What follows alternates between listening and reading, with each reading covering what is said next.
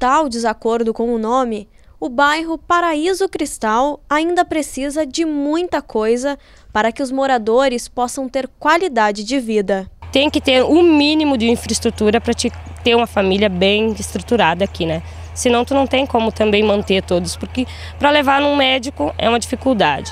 Para buscar um remédio é uma dificuldade, para te fazer um rancho é uma dificuldade.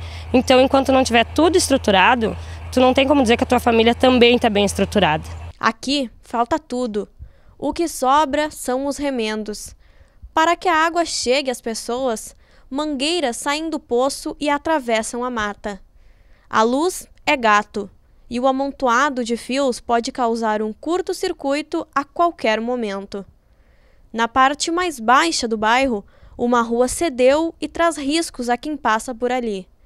No entanto, de acordo com a presidente da AMOB, a construção de uma galeria neste local já foi aprovada pelo Ministério Público.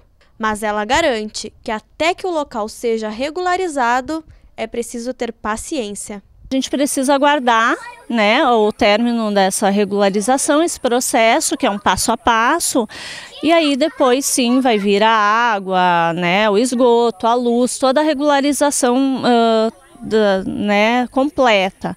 O secretário de Urbanismo do município explicou a situação atual do bairro.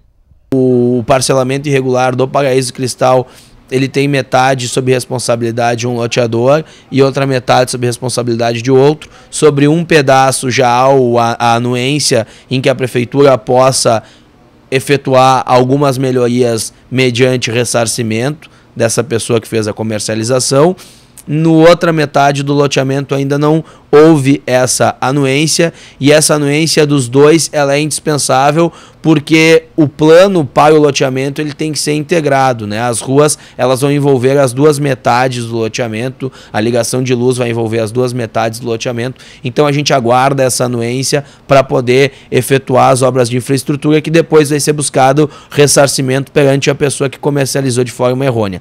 No Paraíso Cristal moram cerca de 140 famílias, uma média de 700 pessoas. E quem fiscaliza o bem-estar das crianças da região cobra as melhorias necessárias para elas. A, a gente está notando através da pastoral da criança que as crianças estão doentes, com diarreia principalmente.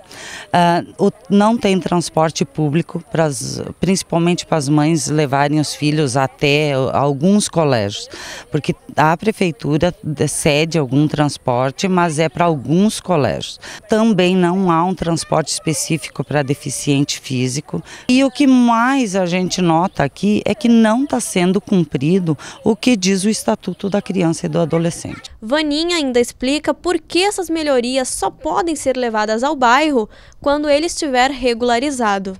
É lamentável essas situações de, de, loteamentos irregulares. A prefeitura tem tentado fazer o máximo, mas precisa, com muita cautela, até em proteção ao dinheiro do contribuinte, uh, evitar que ocorram questões semelhantes como aconteceu no bairro 1 de Maio, em Caxias do Sul, em que a prefeitura levou a infraestrutura para dar uma situação de dignidade, de melhor condições de moradia para aquela população e hoje tem que responder processo perante o Tribunal de Justiça e ser responsável pela indenização dos proprietários da área. Mas é claro que quem reside aqui há algum tempo olha para o futuro e acredita na mudança.